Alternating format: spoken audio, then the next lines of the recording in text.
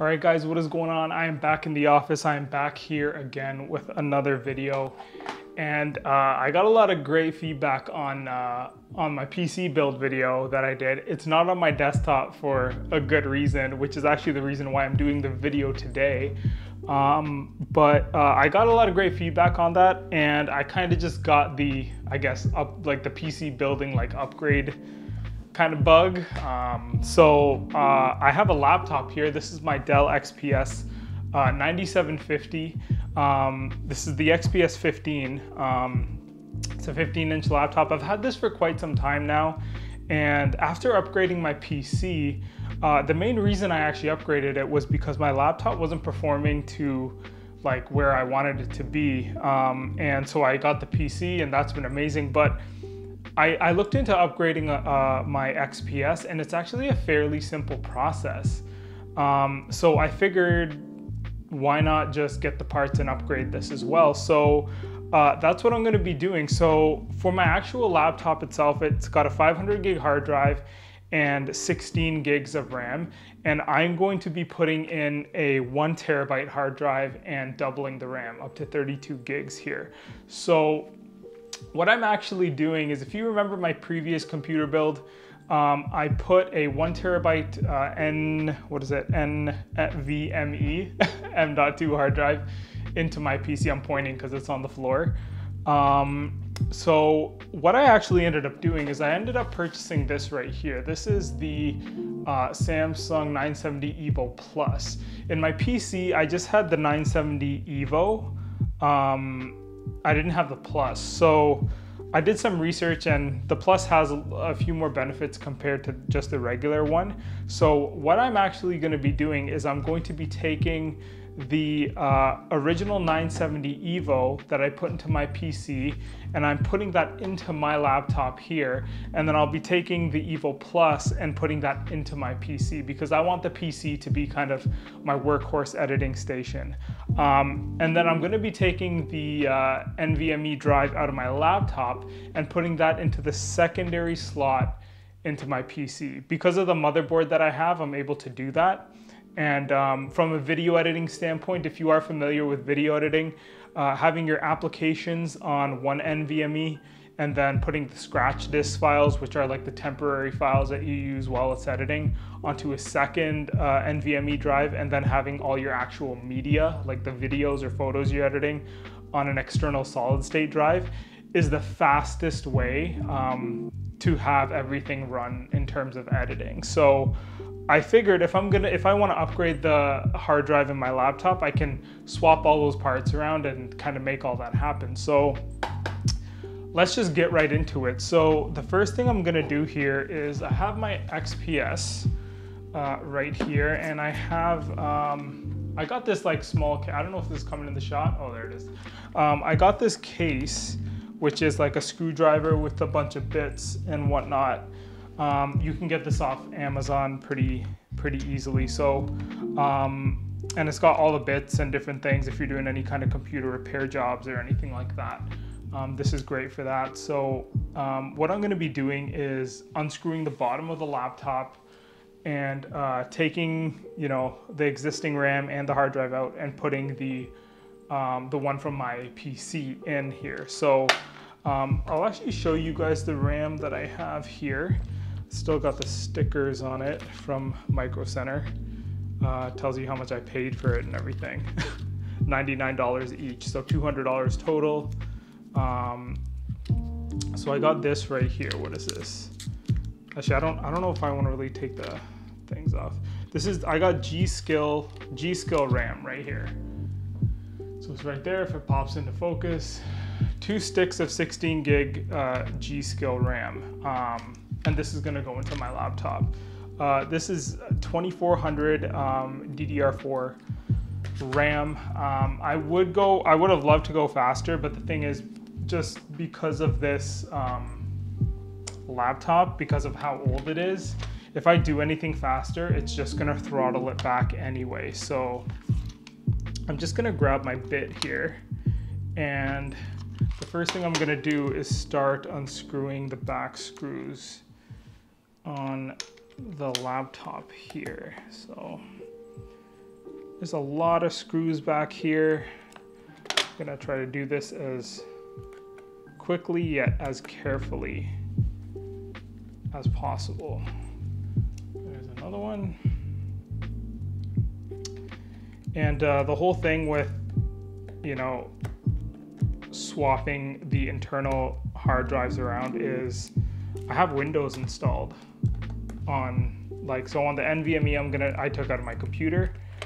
Um, I have Windows installed on that, and the one that I'm taking out of here I have Windows installed on this as well. So I'll actually uh, I actually have a Windows install USB stick uh, ready to go, and when I put when I swap these drives around, um, if you followed the crazy path that I was talking about, um, regardless of which ones may or may not have Windows installed on them, because they're going into new machines with whole new setups and everything. I'm just gonna close this. Because they're going into all new machines, technically, um, with new, uh, you know, the parts and everything, the configurations um, are all are, are different. Obviously, they're not identical machines. That's what I mean.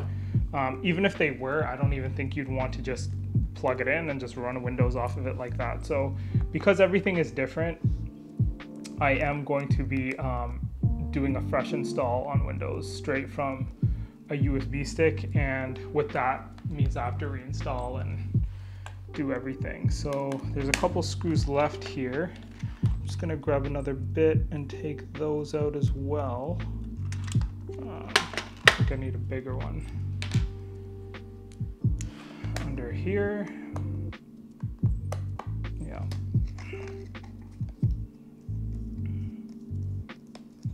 So we got this one here.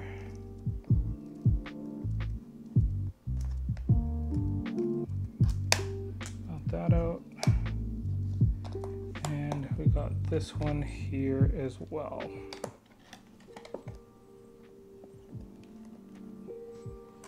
All right. So we got all of these off and this back cover should just now very easily, if I can, I'm just gonna keep it in frame there, pops off just like this. So we'll just toss that aside. So right here is, um, is the RAM right here. And then we have the NVMe hard drive um, right there. So the hard drive, since I have the bit on here, that's gonna be the first thing I'll just take out, why not? So I'm gonna grab this, unscrew this, and it pops up. I'll put this on the side over here. I'm just kind of organizing the screws so I know where everything is. Um, and I actually have my replacement hard drive, the one terabyte, right here. So what I'm gonna do here is I'll just take this out, kind of do a swap grab this, pop it into here so it's nice and safe. And it's nicely labeled. I didn't see that until I actually popped it open. And just slot this in here very easily. Push this down, throw the screw on here.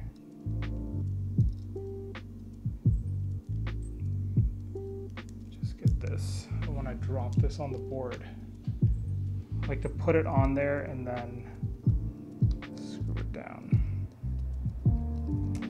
And that's that. Just threw in the new hard drive, just like that. I kind of like with PC parts and everything building how kind of simplistic it's gotten. It's really nice. Um, the other thing I have in here is the battery. I do want to swap that out as well at some point. Um, but for the RAM, I'm just gonna release it here. It's got these two little hinges that hold it in on the side here. I don't know if you guys can see that on the video. There are these little arms um, and you just kind of push them aside like this and it'll pop the RAM up just like that. It's very similar to um, like the SSD where it kind of pops up and has tension there. Um, and, and then, you know, when you put it back down, it, it kind of like holds itself into place and creates tension to make sure the connections are touching and everything there. So So what I'm gonna do is I'm gonna hold on to this RAM um, just, just for the hell of it, um, to be totally honest. And I'm gonna just like, I'm gonna keep it in the same packaging. Um, you never know if I have a friend who wants, who needs a RAM upgrade or something, I can always help them out. So what I'm gonna do is I'm just gonna, I'll put this on the side as a sticker. Um, I'm gonna grab the replacement RAM out of here. If I can get it out. I'm surprised it's in here actually, so you know, you don't wanna risk obviously breaking it or anything. Just pop it out the side. But I wanna keep the case kind of intact. So I'll grab this, pull this out. And you know, if you wanna do this surefire, just kind of make sure you're lining them up perfectly and putting them back in the same way, right? So it's hard to mess up because there's a slot there that fits right in. And that's pretty much it. So you take this, press it down, done. And we'll do the other one.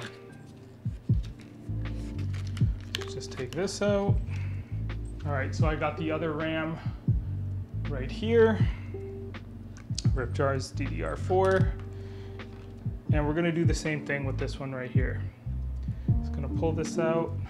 I'm gonna drop it into this case that I have here. Put that on the side and same thing. Just kind of slot this in. I'm not blocking the view here. Slot this in right here and it should kind of hold itself up and you want to just press it down like that. See that right there? And that's pretty much it. I mean, didn't take long at all really to throw all that in. Um, I'm just gonna throw it, throw the, uh, the back panel back on. Um, I won't be able to fire up the computer obviously because I need to install Windows onto it. Um, but that's pretty much it. Uh, upgrading the RAM, upgrading the SSD internally. Very simple, uh, very easy. I think the whole upgrade costed me about 500 bucks. Um, and this should give me a few more years of use out of this laptop. I've had it for quite some time now, so um, this should give me a few more years just by upgrading this. Um, I'm probably gonna do the battery at some point, but uh, right now my priority was just the RAM and the SSD. So uh, I hope you guys enjoyed this build. Uh, I guess this upgrade, not kind of semi build, not really a build, just an upgrade.